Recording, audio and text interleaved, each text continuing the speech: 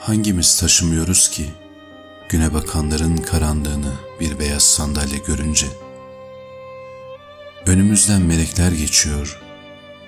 Bir melek, bir melekle örtüyor yüzünü. Çocuklar saymayı demir parmaklıklardan öğreniyor.''